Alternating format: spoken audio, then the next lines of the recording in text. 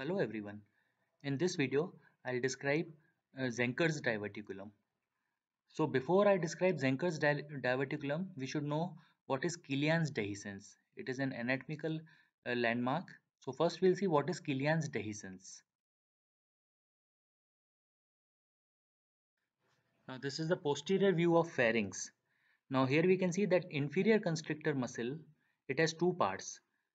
And first is thyropharyngeus which has oblique fibers and cricopharyngeus which has transverse fibers. So these two fibers I have encircled in blue and in between these fibers there is a potential area which is a very weak area. So that part is called Killian's dehiscence. So Killian's dehiscence is a potential weak area in the inferior constrictor muscle between thyropharyngeus and cricopharyngeus fibers. So this is it has two uh, clinical importance. First is it is called gateway of tears because in rigid esophagoscopy it is a potential site for esophageal perforation. Secondly, the pharyngeal mucosa can herniate through it and uh, result in the formation of Zenker's diverticulum.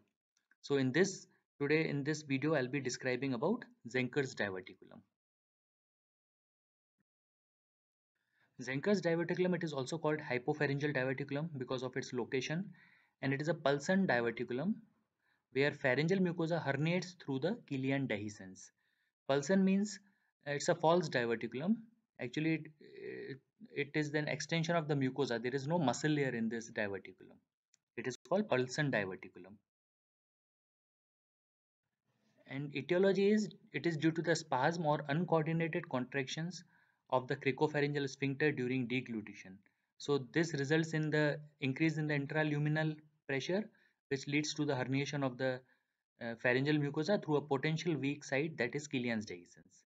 And it is generally seen after 60 years of age. And initially that herniation starts in the midline behind the esophagus, but then it most commonly comes to lie in the left side.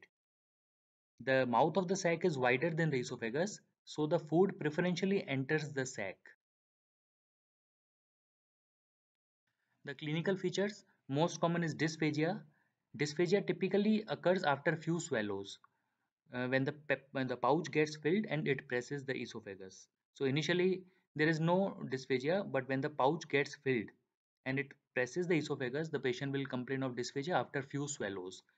Then because the there are contents in the sac and on pressing the sac the contents can go in the esophagus it produces a gurgling sound. Then the undigested food may regurgitate at night when the patient is at recumbent position and it may cause cough as well as aspiration pneumonia also. And uh, that is also one of the causes of uh, halitosis in such patients because of the uh, food stays in the pouch and it causes bad smell. Then patient is malnourished because of dysphagia he is not able to eat so he is malnourished. And very rarely the carcinoma can develop in the sac. The management includes diagnosis which is done by barium swallow where the sac is delineated. Then surgical management is the only um, treatment in which first modality is the excision of the pouch and the cricopharyngeal myotomy. And it is done through external approach that is cervical approach Second procedure is Dohlman's procedure, in which the partition wall between the esophagus and the uh, hypopharyngeal pouch it is divided. It can be divided either by diathermy or nowadays CO2 laser is also being used, and it can be done endoscopically or an operating microscope can also be used for this purpose. Thank you.